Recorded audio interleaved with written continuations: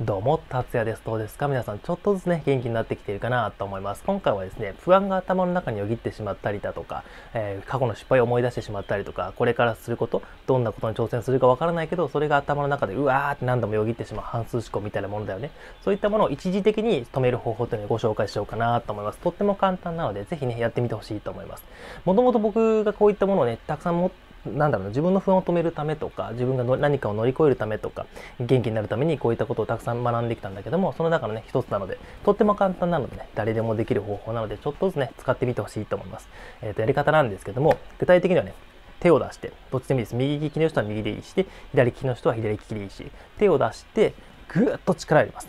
これを10秒ぐらいぐーっとぐーっと力を入れます。で、ここに自分の注意を向けます。ぐーっと結構思いっきり握ってください。これで10、9、8、7、6、5、4、3、2、1、0。こういうふうに一つの箇所に思いっきり力を入れるということをすると自分の頭の中が自分が何かを考えようとしていてもこっちの方が優先順位が高くなっちゃってこっちのことばっかりに力があのあなん力じゃないあの思考がね注意を向くようになるすると自分が何か考えようとするんだけどもこっちの方が優先順位高いから一時的に不安を切り離したりすることができるんだよね。面白いでしょ？こんな感じで自分の体にあの注意を向けたりとか何か行動すること歩くことでもいいし走ることでもいいよ。そういった状態を作ることで自分と不安というのを一旦切り離して一旦冷静な状態を保つことっていうのができるんだよね。その中の方法の一つとして今回紹介したのは思いっきり力を入れて握る。拳を作ってぐーっと握る。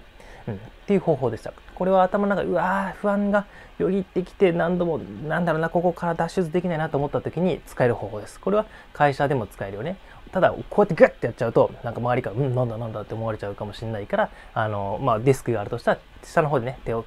グッとね見えないところでぐーっと力入れて結構力入れてみてください。ぐーっとね。そうするとプルプルすると思うんだけどもそういった状態にもね自分の注意を向けてみてぐーっと力入れて10秒ぐらい経ったらふーっとで、この力を抜く感覚とともに、ふーっていうふうに呼吸もする。でも、一つポイントがあって、この時にぐーっと入れてる時に、力入れてる時に呼吸を止めないっていうこともね、やってみてほしいと思います。あまり呼吸を止めてしまうと血圧ぐーっと上がってしまう。うん、ここはね、やっぱこう、高血圧の方とかっていうのはちょっと注意が必要なので、なるべくぐーっと力入れるんだけども、呼吸は止めない。うん、この状態を作って最終的にふーっと力を抜く。その時に自分の体が、体から力が抜けていくっていう感覚にも注意を向けてほしいと思います。思いっきり力を入れると、すごく体が硬くなります。ぐーっとその離した時にふーっと体全身の力が抜ける感覚があります。その感覚っていうのをね、えーと、いろんなところに向けてそういう風なやり方、ボディスキャンっていう方法もあったりするんだけども、それをね、今回は話さないんだけども、そういう方法もあります。こんな感じで思いっきり力を入れて10秒ぐらいやってみて、思いっきりゆっくり、ゆっくり力抜くんじゃなくて、ぐわっとね、瞬間的にグーってやって、ふーって、ふーって抜くのが大事ですよ。うん、ってな感じで、あの不安とかを一時的に止める方法のご紹介でした。ぜひね、簡単なのでやってみてほしいなと思います。で、この続きとしては、あの、いつもの呼吸トレーニングね、マインドフルネスをやっていこうかなと思います。マインドフルネスの呼吸トレーニングをやっていこうかなと思います。今回はですね、えっ、と、5分、いや、今回は10分ぐらいやってみましょうか。えー、と一緒にねやってみてほしいなと思います。やっぱりさっきやった通りあのこういうねあのぐっと力を入れるのもそうなんだけどもあの実践っていうのがとても大事になります。やっぱり頭の中のことをうわーってね不安とかがよぎっている状態で何かを考えようとしてもうまく考えられません。なので実践行動する筋力を動かすということっていうのをぜひぜひね習慣化していってほしいと思います。はい、ピッピッピッと10分間。で、やり方は簡単です。やり方はとっても簡単なんですけども、今回もこの方法から、でここの頭を空っぽにするレッスンから取ってやっていこうかなと思います。10分間。はい。やり方はとっても簡単で、えっ、ー、と、鼻から息を吸って、口から長く息を吐くっていうのを5回やった後、この深呼吸やった後に、えっ、ー、と、鼻から息を吸って、鼻から吐くっていうのを目を閉じながら、っていう呼吸に合わせて鼻から息を吸って鼻から吐く。鼻から息を吸ったタイミングで1と数えて吐いたタイミングで2と数えて。でまた吐いて3はい吸って4え？違うな。1吸って1、ね、2さあ吐いて2吸って3吐いて4吸って5吐いて6吸って7吐いて8吸って9吐いて10と。10まで数えたら、えー、その後にまた1から数え直します。でなんで数を数えるかっていうと一つのことに注意を向けるっていう方、あの練習にもなるしあのここから注意がずれた時にあ数を戻さなきゃっていうふうに注意を戻す練習にもなるんだよね。でこういうトレーニングをしていると、うん、脳のねトレーニングになって脳の開発質っていう量の部分が容量が増えてちょっと噛みましたけども容量が増えてあのストレスに強くなったりとか注意のコントロールが向けられるようになったりして不安とかに頭が問われすぎている状態に気づいてまた通常の状態に戻すっていうこともできたりもするのでちょっとずつねやってみてほしいと思います。ではでは早速ね実践をやっていこうかなと思います。一時的にねこれ毎日やってたんだけどもねまたちょっといろいろ僕も調整していこうかなと思ってます。では早速深呼吸5回やってやっていきましょう。はい。まず深呼吸ですね鼻から息を吸って口からゆっくり長く吐くゆっくり息を長く吐くことで自律神経を交感神経から副交感神経に切り替えます。はい、いきますよ。鼻から息を吸って、口からゆっくり長く吐く。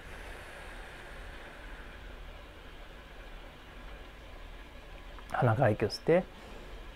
口からゆっくり長く吐く。鼻から息を吸って、口からゆっくり長く吐く。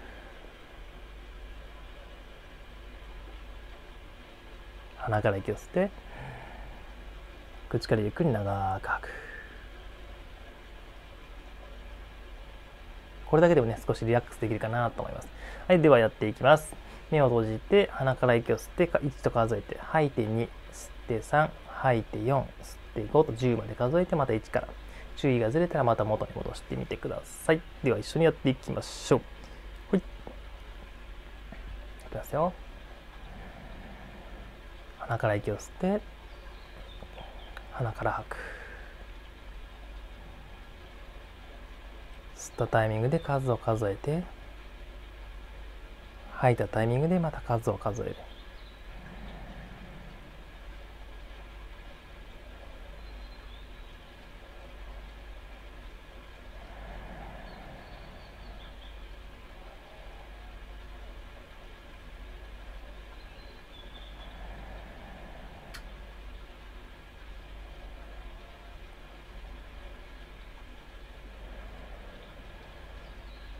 鼻から息を吸って鼻から吐く。注意がずれたらまた数を数えること。呼吸に注意を戻します。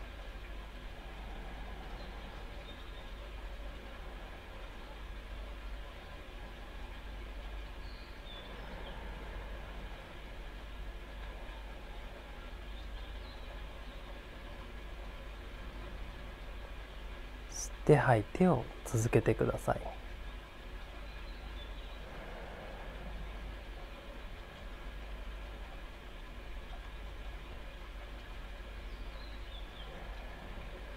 完璧を求めずに少しずつ始めてみてください。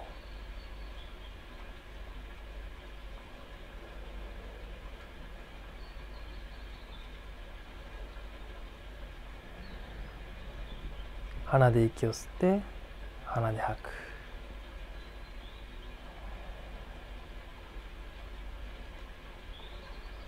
または鼻で息を吸って口から吐く。息をコントロールしようとせずに数を数えます。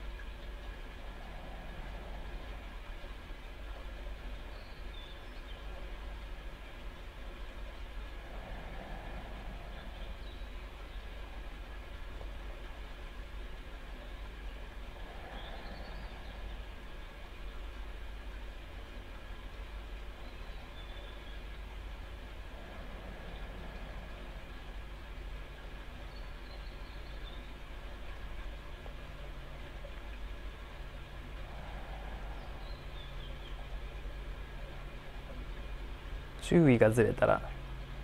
注意がずれたことに気づいて評価せずにただ呼吸に注意を戻しましょ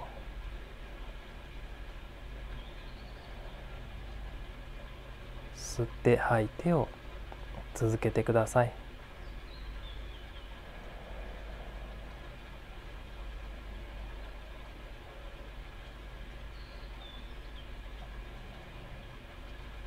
鼻で息を吸って鼻で息を吐く。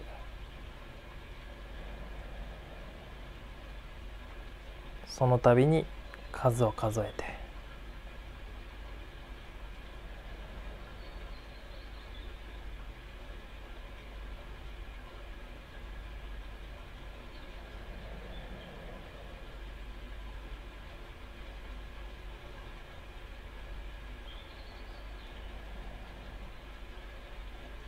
すぐに頭が不安なことや辛かったこととかを思い出すと思います。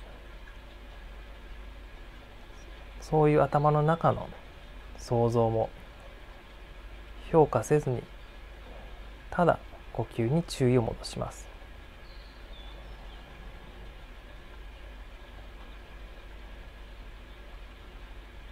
無理にコントロールしようとしないことが大切です。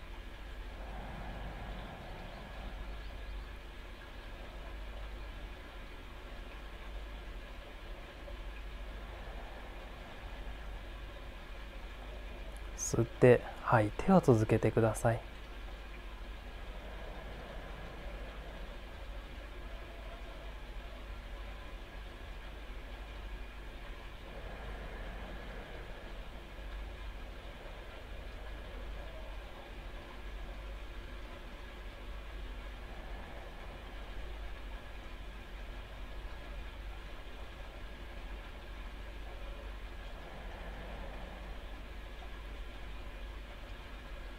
一つのことに注意を向けていると頭がモヤモヤすると思います。その頭のモヤモヤは脳の神経ニューロンが成長している証だと思ってまた呼吸に注意を戻します。吸って吐いてを続けてください。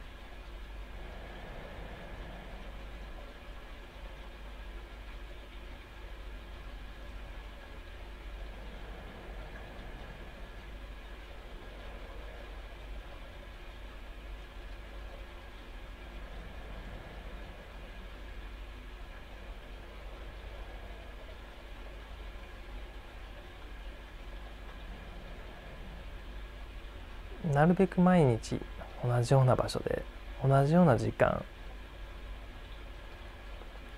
同じような体勢や気温などに調整して自分が心地よく続けられるような時間を作って少しずつ続けてみてください。もし10分間は辛いなと思ったら1分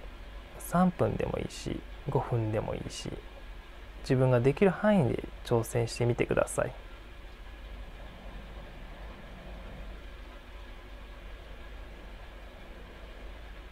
その時に自分がダメだなとかそういったことは考えずにただ挑戦したというプロセス行動に行動を評価してみてあげてください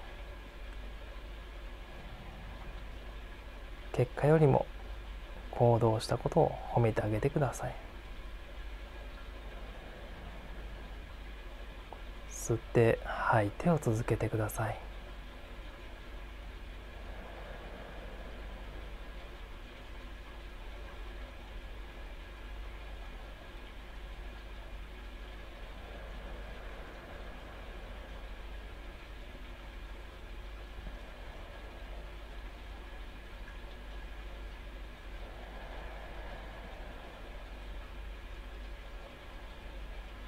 鼻で息をして鼻で吐く。または鼻で息をして口から吐く。その度に数を数え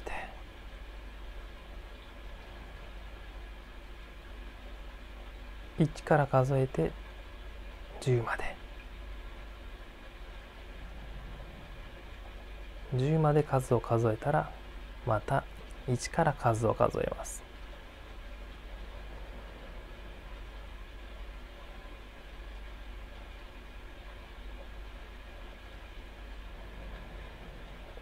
吸って吐いてを続けてください。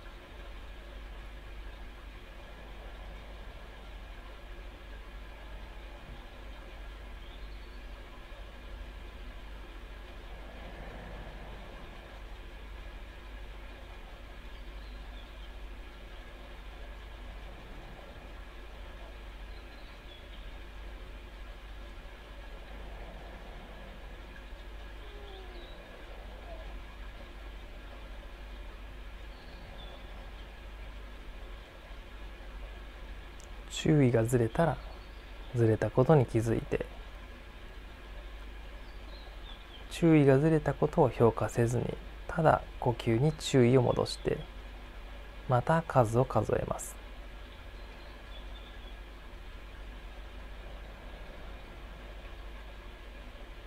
吸って吐いてを続けてください。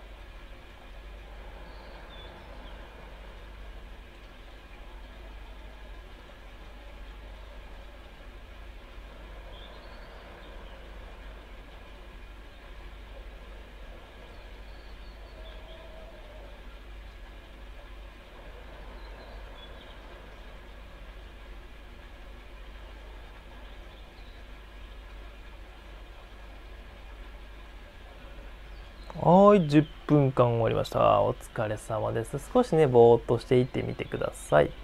はい。やっぱりね、こういうふうに行動したことっていうのに、あの、自分の、なんだろうな、自分を多分きっと皆さん評価すると思うんですよね。自分頑張れてるかなとか、自分ってやっぱりダメだなとか、うまくいかないなとか、いろんなことをこう評価されると思うんですよね。僕もそうだったんですけど、そうした時に結果うまくいかなかったとかいうところに注意点を向けるというよりは行動したということに注意を向けてあよく頑張りましたねっていうふうに自分を評価してあげてください。結果よりもあの途中のプロセス行動したことっていうことにあの注意を向けてそれを評価してみてほしいなと思います。でそのためにノートに日記を書いていきます。はい。今日もね書いていきましょうか。ピューっと。ね。えー、っと。こっち側が、こういうふうにノートね、見開きのノートだと思って見ていてください。はい。こっち側が右ですね。えー、左。いつもね、やっていることなんでい、つも見ていただいてくれている方はね、あの、まあ、また言ってるなーっていう感じで、ちょっとね、見ていただけたらなと思います。はい。で、右側に日付書きます。えー、っと、12月の何日ですね。12月の何日っていうふうにここに書いてください。もうね、今年も終わりですね。はい。早いね。で、えー、っと、いつトレーニングしました？とかね、えー、朝トレーニングしましたとか、朝トレーニング、朝トレーニングしましたとかね。うん。はい。で、えー、っと、ここに、えー、次に、どれぐらいあの集中できたかなということを書いてみてください。はい。集中。集中10段階でね。どれぐらい集中できたかなとか、今日は7点かなとか、こういうふうに書いてみてください。で、その結果、どれぐらいリラックスできたかなとか、はい。リラックスできたかなとか、はい。まあ、こんな感じで。えー、これも10段階ですね。朝どういうことしましたとか、動画見て知識をね、得ましたとか書いて、その後に、どれぐらい集中できたかな、マインドフルネスのね、呼吸トレーニング、まあ瞑想ね、どれぐらい集中できたかな？これもなんとなくでいいですよ。で、その結果どれぐらいリラックスできたかなっていうのを書いてみてください。で、左側を開けておいて、ここにね、なんとなく気づいたこととか、えー、夜寝る前の日記とかをね、書いて、えー、まるっとね、あのー、今日一日ね、終わるっていう感じで、締めるっていう感じでやってみてほしいと思います。はい。で、ポイントなんですけど、あのこれだけだとちょっと物足りなくって、このなんだろうな頑張ったこととかこの書いてるところの近くに、まあ、ニコちゃんマーク書いたりとか何でもいいですよよくできましたっていう風にこんな風に何でもいいのでワンポイントのねあのアイコンみたいなのを書いておくとその時の自分のどういう状態だったのかなっていうのもすごくすぐにねパッと見で分かったりとかあのそういうふうに記憶っていうのはこういうふうなとこで結びついていたりもするので自分なりにあの日記っていうのをねあのいろいろ書いていってほしいなと思います。ではではそんな感じでございますと。で、やっぱりね、その、いろいろこう学んでいくんですけども、これもね、結構何度も言ってると思うんですけども、やっぱりね、行動が必要なんですよね。不安とか、反数思考とか、うつとか、まあ、パニック障害とか、不安障害とか PTSD とか何でもそうなんですけども知識だけではやっぱり治りづらいでそれをじゃあどういうふうに良くしていくのかっていうと今日やってもらったマインドフルネス瞑想だったりとかねこういうものだったりとかあとヨガとかストレッチとか有酸素運動とか筋トレとか、えー、いろんなね散歩するとか呼吸トレーニング瞑想とかそういう何かしら体を使ったりとかあの呼吸を使ったりとか注意を向けたりとかっていう意図的な練習っていうのは結構必要になります。けれども意図的な練習をしたりね体を動かすことでシンプルに筋肉がつく。筋肉がつくことで生物的に強くなったりとかはたまた注意をね向けつ向けることで脳脳のねあの開白質の量を増やしたりとか要するに物理的に強くなって物理的に強くなった結果自分の不安が減ったとかいつも受けてる同じような不安だと物理的に強くなった人間が同じ不安を受けてもやっぱり不安の量ってちょっと減るんだよね。うん、あんまりこのここに不安を感じなくなったとかな不安を感じなくなったなとかそういうふうに実感できていったりもするのでそういうこともねあのこのノートにちょっとずつ書いていってください。で書いていってたまにこう見返してあちょっとちょっと頑張ってるなとかま、ちょっと良くなってきたなとかもうちょっと続けてみようかなっていうふうにもできたりとかはたまた自分は例えばこういうふうなカーペットを引いたところがいいのかなとかあの少し寒いんだったらちょっとパーカー着てみようかなとかあの冷房入れてみようかな暖房入れてみようかなとかはたまたアロマオイル炊いてみようかなとか部屋の暗さはっていうふうに自分が集中できる環境とか自分がリラックスできる環境をあの整えるためにも使ってみてほしいと思います。ただあんまり書きすぎちゃうとあの続かないので続けることを、ね、まずは優先してみてほしいと思います、はい。やっぱり、うん、さっき言った話に戻すと、やっぱりね、あの人間って、あの、これはまあ、解剖図の本だったりもするんだけども、筋肉と脳とかね、やっぱつながっていて、体の調子が悪いと、あの、頭の働きが悪くなったりとか、肩こるとイライラしたりとか、そういうふうにあのつながっているので体を動かして強制的にね気持ちっていうのを動かしていったりとかっていうことにもつながるのでちょっとずつねやってみてほしいと思います。はい。で、え、ー、と、マインドフルネス瞑想おかわりしたい人はリストから、あの、もう10分、15分、20分とかあったりするので、それに挑戦してみたりとか、なかなか眠れないなって方は、えー、ボディスキャンっていうものをやってみたりとか、いろいろあります。で、今後ストレッチとかヨガとかもっともっと作っていくので、自分がやってみたいことっていうのをあのどんどんと挑戦していってほしいと思います。で、自分がやった結果を自分で評価したり、あげて何か自分にプレゼントしてあげたりとか、ちょっとずつね、そういうことを続けていってほしいと思います。そのためにやっぱり動画っていうのは長くなります。これはもう仕方がないです。あの、短い動画でパパッと見て、ちょっとなんか知識得たような気がして終わっちゃってると、何も始まらなかったりするので、行動するためにはやっぱりね、あの、しっかりとした知識を得ながら行動する。で、行動しながら知識を得るっていうこともやっていってほしいし、何よりもね、あの、一人で、なんだろう、こういうトレーニングするっていうのはなかなか続かないので、あの、なるべく僕も毎日動画出すようにしますし、その時に一緒に、あの、ちょっとでも、一分、先言った通り1分でもいいから、あの、ちょっと体を動かしてみる。で、動かしてみると、や人間のやる気スイッチが入って、そこから、あの、続いたりとか、うん、するので、ちょっとずつね、やってみてほしいと思います。そんな感じでした。で、話を一旦まとめると、最初から振り返ってまとめてみると、ぐっとね、不安が頭の中でわーっていっぱいだなと思ったら、ぐっと力を入れてみて、ぐーっと力を入れて、ふーっと抜いてみる。ぜ皆さんも今もやってみてほしいんですけど、ぐっと力を入れて、ぐっと抜いたために、きっとね、この辺の筋肉もふって緩まると思います。その感覚にも注意向けてみて、ぐーっと、うん、イライラするなとか不安があるなと思ったら、ぐーっと力入れて、ここに注意向けて、ぐーっとふーっと抜くときはスッと抜いてください。で、これで不安を一旦止めるとか、